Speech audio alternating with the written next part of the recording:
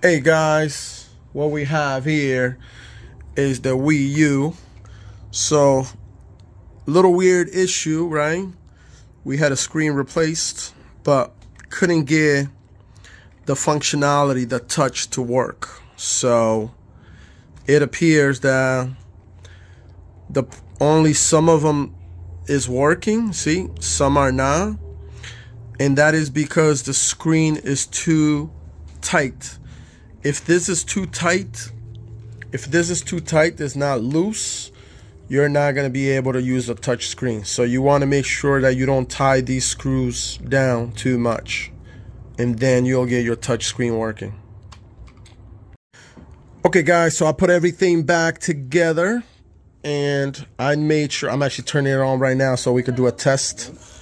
And what I did this time is made sure that nothing was tight. You want to make sure your screws are not very tight and that this screen here is nice and flow and not stuck to your digitizer. You need to have good space. Okay, so doing so, okay, let's go to TV mode. Uh, and we are, let me put this light away so you can see better. So now we're going to touch and see. Okay, there we go.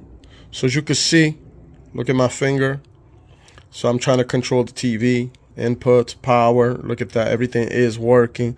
And I'm actually going to close out of this area. So that is the solution. If you have the same problem, your digitizer is screwed in too tough. It's, it's basically just jammed and is not able to let you touch the screen.